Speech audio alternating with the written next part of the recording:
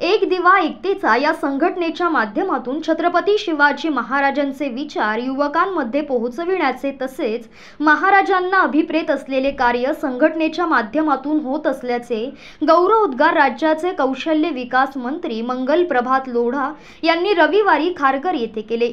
तसेच आमदार प्रशांत ठाकूर यांनीही या कार्यक्रमाला भेट देऊन दीपोत्सव साजरा केला. एक दिवा एकतेचा ही संघटना गेल्या तीन वर्षांपासून खारघर येथे दीपोत्सव साजरा करत आहे.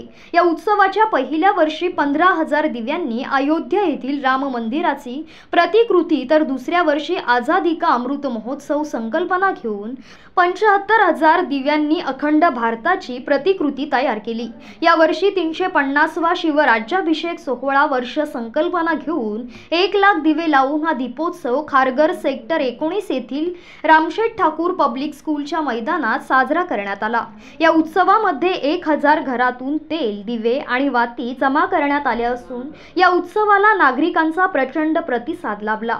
यावेळी भाजपचे खारघर शहर अध्यक्ष प्रवीण पाटील संघटनेचे संस्थापक अध्यक्ष आदित्य कांबळे उपाध्यक्ष कुणाल महाडिक श्रीराम शिंदे मोना अडवाणी यांच्यासह पदाधिकारी आणि कार्यकर्ते उपस्थित होते. युवा शक्ती काय करू शकता ते आपण आज इथे बघू शकता.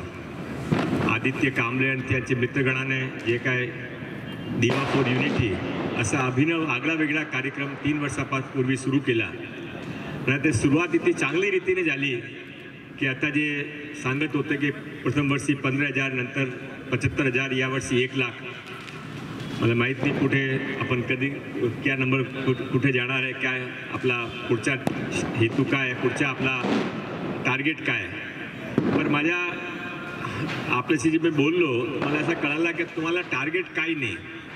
तुम्हाला टार्गेट फक्त असं आहे की छत्रपती शिवाजी महाराजाचे जे प्रेरणाचे हिंदुत्व होता जे हिंदू राष्ट्र होता राष्ट्रशक्ती होती राष्ट्रभक्ती होती ते युवकामध्ये कसं रजवायची? म्हणून तुम्ही हे तुमचे मित्रगण हा कार्यक्रम करत आहे.